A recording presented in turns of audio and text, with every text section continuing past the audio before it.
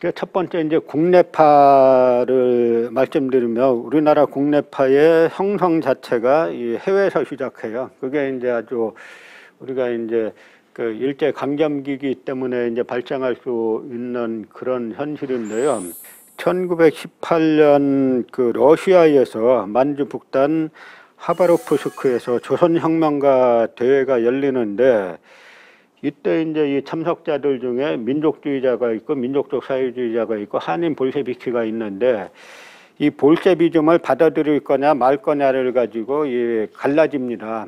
그러니까 러시아에서 한국 독립운동을 지원하겠다니까 다 이제 달려갔는데 볼셰비즘을 받아들이겠느냐라고 하니까 이 민족주의자들은 우리가 러시아가 지원한다 그러면 받을 생각은 있지만 우리가 볼셰비즘까지 받아들일 생각은 없다라고 해가지고 탈퇴를 하고 저 이동이나 유동열 같은 민족적 사회주의자와 한인 볼셰비키들 이제 이 한인 볼셰비키들은 그 구한말 이런 때에 한인들이 많이 이주를 합니다. 연해주 막 이런 쪽으로 이주해가지고 그 살던 사람들의 자식들이에요. 그러니까 태어나기를 러시아령에서 이제 태어났던 그런 사람들의 자식들이 스스로 볼셰비키가 되는데 요 사람들은 볼셰비즘을 다 받아들이겠다라고 해가지고 서로가 이제 연합이 되는 겁니다. 그래서 1918년 4월 28일에 우리 역사상 최초의 사회주의 정당이라고 할 수 있는 한인 사회당이 이제 러시아에서 만들어지게 되는 건데요. 한인 사회당이 만들어지고 나서 얼마 안 있어가지고 국동 내전이 발생합니다. 그러니까 1차 세계대전에 체코군이 참전을 했는데 그 1차 세계대전 끝나고 난 다음에 이 체코군이 항복을 했는데 이 체코군을 구하겠다는 명목으로 여러 열강들이 개입을 합니다. 일본도 개입을 하는데 그래서 이제 체코군의 무기나 이런 것들이 열강이 가담을 하면서 그이 연해주 지역, 블라디보스톡 이쪽 지역에서는 짜르를 지지하는 그 이미 사용당한 러시아 황제 짜르를 지지하는 세력이 상당히 강해져요. 그래서 일시 저쪽은 다시 이제 백위군이라고 불리는 그 짜르 세력들이 점령을 하게 되는데 그래서 이제 그 민족적 사회주의자들하고 한인 볼셰비키들이 백위군들에게 체포가 됩니다. 그래서 이 사람들이 심사해가지고 한인들은 대부분 석방시켜요. 왜냐하면 우리는 러시아 내전하고 상관없고 우리는 한국 독립 운동을 하기 위해서 온 사람들이라고 하니까 대부분 석방시키는데 이 김 알렉산드리아라는 그 이 한인 볼셰비키에게 너는 한국 사람의 후예인데 왜 이제 이 내전에 그 가담을 하느냐라고 하니까 이 김 알렉산드리아가 나는 볼셰비키다. 조선 인민이 러시아 인민과 사회주의 혁명을 달성할 때만 나라의 자유와 독립을 달성할 수 있다고 믿는다라고 말해가지고 젊은 나이에 그 총살을 당합니다. 그래서 김 알렉산드리아가 세상을 그 총살 당하는 것이 당시 이제 이쪽하고 손잡았던 이동휘라는 나중에 대한민국 임시정부 국무총리가 되는데 이동휘가 사회주의 세력을 신장시키는데 많은 타격을 입게 됩니다. 그래서 요 파가 하나 한인사회당 계열이 하나가 있고 여기는 이제 이동희 같은 민족 사회적 민족주의 민족주의 자겸 사회주의자들이 가담했을 정도로 이 민족주의 성향이 강한 쪽이죠. 그런데 또 하나 우리가 이렇게 보면 여기 이제 러시아 요 중간쯤에 이르쿠츠크라고 있는데 그 이 중간에 아래쪽에 요 이르쿠츠크에서 이르쿠츠크파 이제 고, 그, 고, 그 공산당 그러니까 볼셰비키당의 이르쿠츠크 지구당의 한인 지부가 있는데 이쪽 사람들도 당을 만들어 가지고 이제 아까 말씀드린 이동희 계열하고 서로 이제 당세 경쟁에 나서면서 서로가 이제 사회주의 이쪽에 사실 이제 파쟁이 시작되는 겁니다. 근데 잘 이런 말 잘 뭐 이렇게 초급하니 뭐 이런 말들을 잘 이제 처음 들어 보잖아요. 그러니까 우리가 생각할 건 한국 공산주의 운동의 기원이 저 뭐냐면 러시아에서 시작했다라고 하는 건데 그래서 아까 처음에 이동희 계열의 민족적 사회주의자 그룹이 만드는 게 나중에 상해로 내려와서 만드는 게 상해파 고려 공산당이 돼요. 그러니까 이 상해파 고려 공산당은 이 임시정부 국무총리 이동희 중심 계열이니까 이 사람들은 사실 공산주의 성향보다는 우리 빼앗긴 나라를 되찾기 위한 수단의 하나로 러시아의 지원을 받기 위해서 이 사회주의를 표방했다라고 봐도 이제 과언이 아닐 정도죠. 그래서 이 상- 상해파 고려공산당이 하나 만들어지는데 이 두 파가 이르크 축구파하고 나중에 이 상해파하고 많은 이제 그 이 논쟁과 뭐 싸움도 하게 되는데 그 핵심에 뭐가 있냐면 레닌이 기동이를 만나서 이동을 만났는데 레닌이 한국과 독립운동 하는데 자금이 얼마나 필요하냐 라고 하니까 레닌이 서류 여러 자료들이 말들이 조금 다른데 약 이제 60만 루블을 지원했다라는 말이 있어요. 그래서 40만 루블을 가지고 이제 이동희 계열이 상해로 가져오는데 당시 40만 루블이면 어마어마한 거액이에요. 한꺼번에 차에 못 실어가지고 여러 번에 나누어가지고 이제 올 정도로 큰 거액을 레닌이 한국 독립운동에 지원을 한 거죠.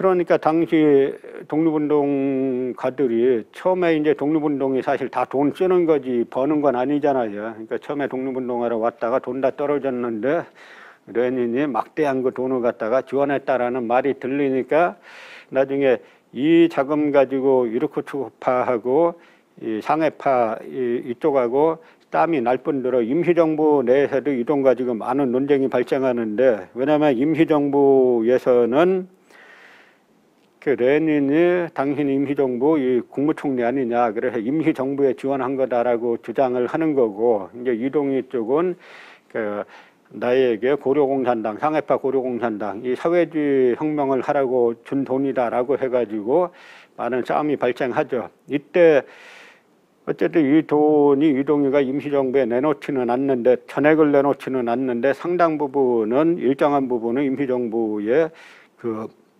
나눠줘 가지고 뭐 일설에 의하면 형제 이시영 선생 빼고는 뭐 이 돈을 안 쓴 사람이 없다라고 할 정도로 그 이 돈이 상당한 이제 위력을 발휘하는데요. 나중에 이르크 축파하고 상해파하고 이제 상당히 많은 파쟁을 하니까 결국은 코민테른에 나서 가지고 양파를 연합하려고 이 고려공산당 연합대회를 열었는데 결국은 이제 통합에 이르지 못하고 각자 이제 그이 끝까지 그 통합에 이르지 못하고 이제 결렬되면서 두 파가 계속해서 이제 논쟁을 하게 됩니다. 그러니까 코민테른이라는 제3국제공산당에서는 양파를 전부 다 해체시키고 코민테른의 제3국제공산당 극동부 극동부 산하에 꼬르비로라는 걸 만들어요. 꼬르비로가 고려국이란 뜻이에요. 꼬르비로가 이제 러시아어로 고려국이란 뜻인데 여기에서 뭘 하냐면 이제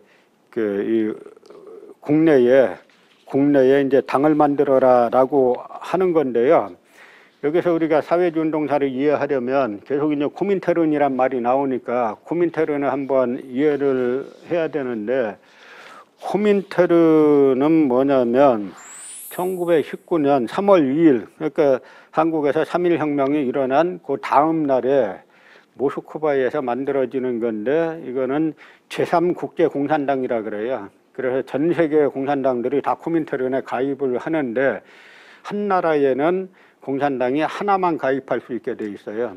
그래서 이제 코민테른의 지부로 지부로 승인이 되면 예를 들어서 일본 공산당이 그 코민테른의 일본 지부로 승인이 되면 일본 내에서는 그 공산당은 그거 하나밖에 없게 되는 겁니다. 그 조선에서도 조선공산당 하나가 승인을 받게 되면은 공산당이 그거 하나밖에 없게 되는 거라 이 코민테른의 가입을 그 정식 당으로 가입을 하느냐 못하느냐는 상당히 그 당시에 어떻게 보면 사회주의자들의 사활이 걸린 문제예요. 왜냐하면 코민테른에 가입을 하게 되면 인정을 받게 되면 코민테른에서 그 예산도 일정 부분 나오죠. 그렇기 때문에 당시 이제 독립운동가들이 아주 이제 극심한 탄압 쪽에서도 가장 어려운 거는 사실 활동 자금의 문제인데 코민테른의 그 인정을 받게 되면은 지부로 인정을 받게 되면 자금 문제도 일정 부분 해결이 되기 때문에 서로 이제 여기에 가입하려고 이 국내파, 국제파가 많은 이제 사실 이제 파쟁을 하게 되는 건데요. 이게 이제 코민테른 회원증인데 코민테른 저 회원증이 있으면 러시아에서는 사실은 뭐 열차도 무료, 뭐 이제 호텔 잠자는 것도 무료, 식당도 무료 이렇게 되기 때문에 저 당시에는 저 코민테른에 가입하고 회원증이 있다라고 하면은 상당한 이제 힘이 될 수밖에 없는 이제 그런 구조인 거죠. 그래서 해외 기원 중에 하나는 또 이제 일본인데 일본의 기원은 제가 이제 아나키즘 독립운동론 말할 때 대략 말씀드린 그 노선하고 이제 비슷한 겁니다. 그러니까 처음에는 조선 고학생 동호회로 시작했다가 이게 그 아나키스트들은 그 흑우회 그 아나키즘의 색깔이 검은색이니까 흑우회를 만들고 그 다음에 그 볼셰비즘을 주창하는 사람들은 북성회 그이 북쪽의 벼르니까 러시아를 말하는 거죠. 이 북성회를 만들면서 둘로 이제 갈라지게 되는데 둘로 갈라져 가지고 그 활동을 이 하게 되는 건데요. 북성회가 그 국내에 귀국해서 강연회 같은 거 할 때 일본 공산당 사람들을 초청해 가지고 같이 강연회를 그 이 하게 되는데 그래서 이제 1924년도 11월에는 이 북풍회라는 게 만들어져요. 북풍도 말하자면 러시아 서해지 바람이 이제 한번 불어가지고 한국도 쓸어버릴 것이다라고 하는 그런 의미에서 그 북풍회라는 그 이 조직이 일본 유학생들 중심으로 만들어집니다. 그러니까 우리가 지금 그 한인사회당 이동희의 민족적 사회주의자 그룹이 만든 한인사회당에서 나온 상해파 고려공산당이 하나 있고 지금 일본 유학생들이 만든 사회주의 조직으로 북성회 북풍회가 하나 있게 되는 거죠. 또 하나는 이제 화요회라는 것이 있는데 화요회는 왜 화요회냐면 막스의 생일을 찾아보니까 막스의 생일이 화요일이에요.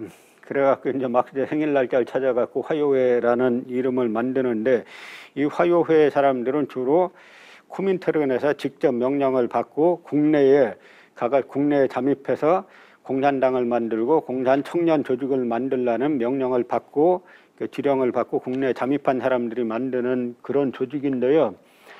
이 사진을 보면은 이게 모스크바 그 국제 공산대학의 그 동창생들 사진인데 여기에 박헌영과 김다냐 사진이 앞에 있고 그 둘째 둘째 줄에는 박헌영의 부인이 되는 주세죽이 있고 저 제일 뒷줄에 세 번째 줄에 동그라미 친 인물은 누구냐면 그 베트남의 호지명이에요.